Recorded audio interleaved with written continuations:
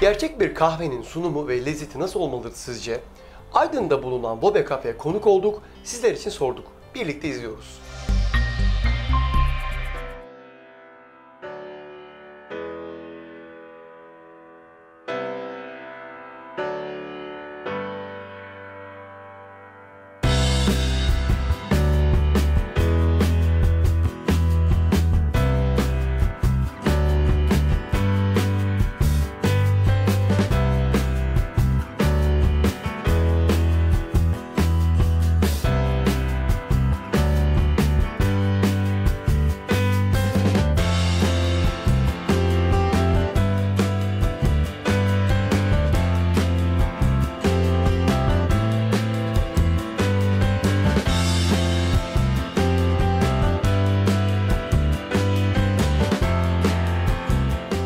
Merhabalar değerli Altın Rehber izleyicileri. Sektörler arası turumuza kaldığımız yerden devam ediyoruz. Aydın'dayız Ruby Cafe'de iki genç işletmenin yanına hem çocukluktan bu yana arkadaş olan hem koca bir işletmeyi almış yürütmüş bir ikilinin yanındayız. Kendilerini tanımakla başlayacağım. Ömer Bey hoş geldiniz. Bizleri kabul ettiğiniz için teşekkür ediyoruz. Sizleri daha yakından tanıyabilir miyiz?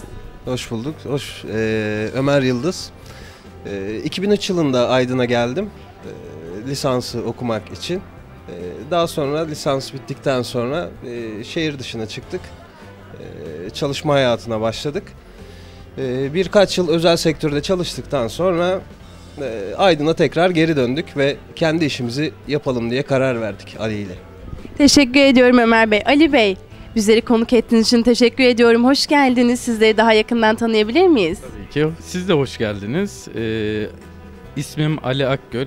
Ee, 2002 yılında Aydın'a geldim. Lisans okumak için. Lisans bittikten sonra e, belli bir dönem İstanbul'da çalıştım özel bir şirkette. Ee, daha sonra tekrar Aydın'a döndüm ve Ömer Bey'le e, bu işi yapmaya karar verdik. Ve Wubi'yi konseptini oluşturduk. Teşekkür ediyorum Ali Bey. Ömer Bey bize peki kuruluşunuzdan bahseder misiniz? Ee, kuruluşumuz aslında biraz uzun da e, olabildiğince kısaltmaya çalışalım. Ee, şöyle en son ben Marmaris'te çalışıyordum. Böyle bir fikir doğdu. Ee, ya bu fikri ilk zaten Ali ile e, paylaştık. Daha sonrasında bir araştırma süreci başladı bizim. Bu araştırma sürecimiz de bir, bir buçuk yıl sürdü. Uzun bir süre. E, tüm detaylarına kadar. E, biz üçüncü dalga kahveci izliyoruz kendimize. E, bunun inceliklerini öğrenmek için çok araştırdık. E, isme kadar, ismin yaratılışına kadar e, çok ince eledik, sık dokuduk e, ve işletmeyi kurduk. Teşekkür ediyorum Ömer Bey. Ali Bey siz bize bu durumu biraz daha açıklar mısınız? Hizmet yelpazenizde neler mevcuttur? Tabii ki e, bizim e, bir kahve bölümümüz var. E, bir e, mutfağımız var. E, birkaç tane pizza çeşidimiz var. Birkaç tane e, makarna çeşidimiz var. Asıl uzmanlık alanımız kahveler. Üçüncü nesil kahveler. E, buna artı olarak tatlılarımız var. Ve e, pizza ve makarnalardan oluşan bir mutfağımız var. Küçük bir mutfağımız var. Ama lezzetli bir mutfağımız var. E, hizmet alanımız bunlarla sınırlı ve e, alkollü kahvelerimiz de var aynı zamanda. E,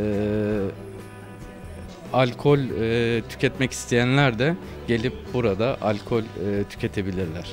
Teşekkür ederim Ali Bey. Ağzınıza sağlık. Ömer Bey az önce bir başlık verdiniz. Üçüncü dalga kahve dediniz. Biraz açar mısınız bizlere? Ee, üçüncü dalga kahve e, son yani 2000'li yılların başında başladı dünyada. Biraz yavaş yayıldı ama e, bu son yıllarda hızlı bir şekilde yayılmaya başladı e, dünyada. Türkiye'de de bunun öncülüğünü İstanbul çekiyor tabii ki. Son 3-4 yıldır e, yani inanılmaz bir e, çoğalma var e, kafelerde, üçüncü dalga kafelerde, e, butik işletmelerde.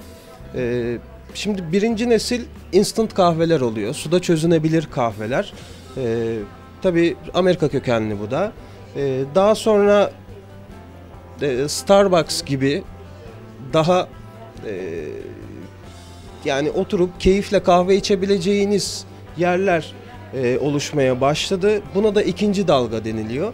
Üçüncü dalgada da özellik e, kahve çekirdeğinin nasıl olduğu, nereden geldiği, hangi orijinden geldiği, e, işte hangi ülkenin hangi çiftliğinden geldiği çok önemli. Yani nitelikli kahve çekirdeği olmalı.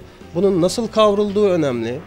E, kavurmada da çok fazla kavurma değil de daha az kavurarak kahve çekirdeğinin aromasını e, kahveyi içen kişi daha iyi alabilmeli. E, ve burada kahve demlenirken farklı ekipmanlar kullanılmakta. E, bu ekipmanların ismi bazıları aşinadır, bazıları değildir ama yavaş yavaş öğreniyoruz bunları. E, bir tanesi Chemex, bir tanesi V60 dediğimiz bir demleme yöntemi, biri sifon, e, cold brew dediğimiz bir demleme yöntemimiz var. Bu soğuk demleme. E, kahve damla damla e, demlenmekte burada ve 18-20 saat sürüyor bunun demlenmesi de. E, nitelikli kahve çekirdeği ve farklı demleme yöntemleri kullanılıyor 3. dalgada. Ve konsept çok önemli. Teşekkür ediyorum Ömer Bey. Ağzınıza sağlık. Ali Bey, peki neden Wubi Cafe? Neden Wubi? Ee, biz Wubi ismini oluştururken e, birçok kitap okuduk. Birçok e, şeyi araştırdık. İşte bir çünkü bir marka yaratmak istiyorduk. Bir markamız olsun istiyorduk. Hani marka olabilecek bir isim bulmak istedik. E, bu yüzden de uzun bir süre araştırmaya girdik. Daha sonradan da e, birçok isim türettik. Aşağı yukarı bin tane isim türettik. E, bu isimler arasında birkaç tane beğendiğimiz oldu. Eliye eliye gittik. İşte e, sadece aslında B'yi bulduk. Daha sonradan da birçok marka isminin anlamsız olduğunu keşfettik. Bir anlamı yok. Sadece akılda kalıcılığı önemli. İşte e, ve e, kulağa hoş gelmesi ismi ve görüntüsünün güzel olması. E, biz de hani B'yi yalnız bırakmayalım dedik. Wu ekleyelim dedik. Ve anlamı yok Wubi ama e, akılda kalıcı, fonetik ve görüntüsü çok güzel. Teşekkür ediyorum Ali Bey. Ağzınıza sağlık. Ömer Bey, peki tüketici için neden Wubi Cafe? Bu bir kafe. e, şimdi biz konseptimizle yani ön plana çıktığımız şeyler var. Bunların ilki zaten 3. dalga kahve. 3. dalga kahveyi Aydın'da ilk yapan biziz. E, bu İstanbul'da, İzmir'de, Ankara'da yapılıyor ama Aydın'da ilk yapan biziz. E, bu yüzden bu bir kafe. Birinci sebep bu. İkinci sebep biz müziklerimizle farklıyız. Değil mi? E, üçüncü sebep de konseptimiz. Buranın bir dokusu var. Buranın bir ruhu var. Ee, yani duvarlardan tutun yerlere kadar e, bu, bu mekanın bir ruhu var. Teşekkür ederim. Tabii. Teşekkür ederim Ömer Bey. Ali Bey, peki biz neden Wubi Cafe olduğunu anlattık. Dışarıdan yorumları dinlediğinizde ilk duyduğunuz şeyler nelerdir? E, ilk duyduğumuz şeylerin başında burası konsept mi e, deniliyor bize. E, franch şey e, franchise mı deniliyor? E, biz franchise'i kendimiz oluşturmak istiyoruz. Yani bunu anlatıyoruz. Ama e, bu şekilde dışarıdan insanların bu şekilde algılaması bizim çok hoşumuza gidiyor. Teşekkür ederim. Ömer Bey, peki Ali Bey ile aranızdaki bağdan biraz bahseder misiniz? Ee, ya Ali Bey'le ben Aydın'a geldiğim ilk gün tanıştım. Ee, aynen öyle. Ee, üniversite okumaya geldik dedim ya. 2003 yılında Ali benden bir yıl önce gelmişti. Benden kıdemli. Ee, ben onun bir alt sınıfıyım. Ee, biyoloji bölümü okuduk ikimiz de. Ee, yani ilk gün tanıştık. Daha sonrasında ertesi yıl zaten e, aynı eve çıktık. Öğrencilik hayatımız boyunca biz üç arkadaş, bir de Erdinç diye bir arkadaşımız vardı. Üç arkadaş aynı evi paylaştık. Yani uzun yıllardır e, hep yollarımız kes, kesişmekte. Daha sonra İstanbul'a çalışmaya gitti Ali. Arkasından birkaç ay sonra ben gittim. Farklı iş yerleri. Ee, orada da sık vakit geçiriyorduk. Daha sonra o tekrar Aydın'a geri döndü. Bir taraftan eğitim, bir taraftan e, iş hayatı devam etti Aydın'da.